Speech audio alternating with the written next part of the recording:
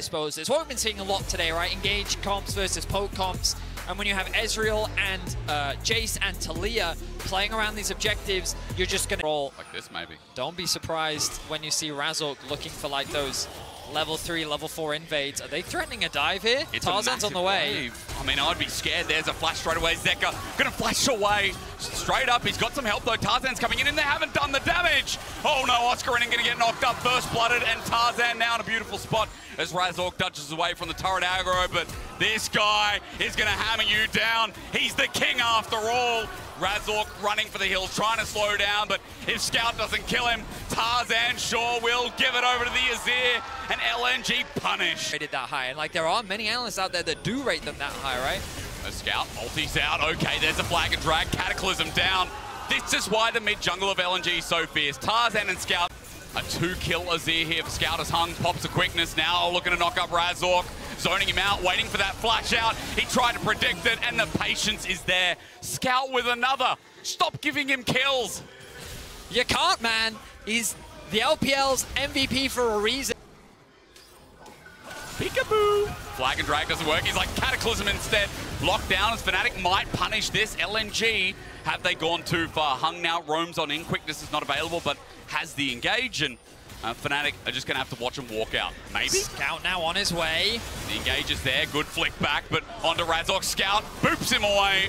And straight away, his fourth kill. Now Trymbi, Oscar in, in a bad spot. As Zika might turn this into a solo kill. This Jax doing it by himself. Jumps on in.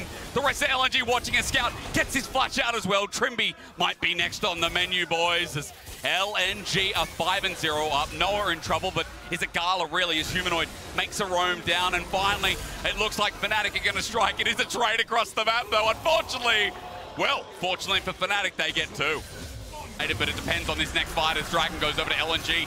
We come back from the replay into a live party. A good charm in the end as well as Razork's burning down because Gala is now going to have his say. Demacia returns with a massive arena in the mix.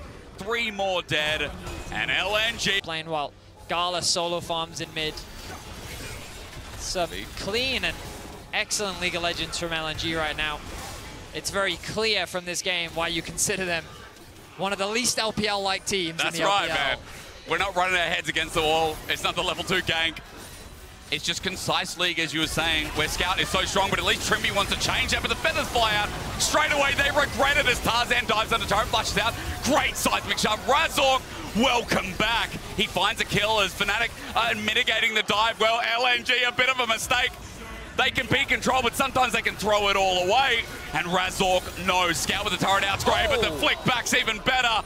Razork has woken up to the... Look at how fast that dies. Run.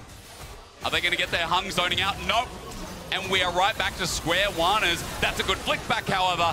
Razork now on a killing spree, but at the cost of Baron, it is still a net positive for LNG. One, 1.33k. I mean, less than the Baron itself is worth, so Fnatic can take pride as the Orleans Air Scout shuffles back. Humanoid's caught in the middle, but that, Hang a great magnet storm from Trymbi. Welcome back, but Zika gets in with the counter-strike. They have to take him out, however, as Scout still not dead. Oscarinin at half HP wants to re-engage, but Gala now on the wing. He flashes on him, but the cleanse is there. He'll get the kill, he'll survive, and Noah's now in trouble as the turret must go first. But into the feathers, into Scout. And it's such a difficult thing to do Dragon secured, uncontested. The wall comes down from Razork as Fnatic tried to get themselves a tower. But does that wall cost them? Oscar in, a bit of trouble. Zika's looking for the 1v1. The rest of Fnatic getting engaged on or at least looked at once again. They have the inside track to mid, but the minion wave thinned out as Tarzan goes the all-in, but misses. But Razork survives. Meanwhile, on the back of it, Trymbi gets a Magnet Storm, but no one's hit Gala. No one can hit Scout. LNG are looking for the finishing touches, and just while Fnatic we're looking closer to bringing this back.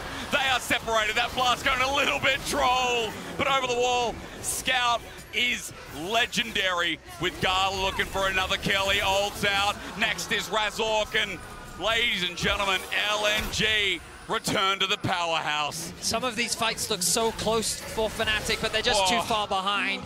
Scout elements of play that they can choose to play from. As Zika goes between, there's a Weaver's Wall to separate, but LNG have flag drags and the thank you mams. The charms there knocked up. Trymbi is in a bouncy castle. but he ain't four years old. That man gets out of there straight away, but Scout again! That's our MVP, but as he goes golden, Fnatic are trying to get the shutdown. Zika jumps back in, Scout still lives, Gala lives, everyone from LNG sitting there. The man who's a pentakill king is looking down two more. A triple in the bag as Razork tries to do it again, at least getting one onto Zika. The feathers around, the inhibitor down. Razork next up, but Scout takes it, and he deserves it. A double for the mid lane legend, and LNG hold up to their name. They won't be dropping to EU second.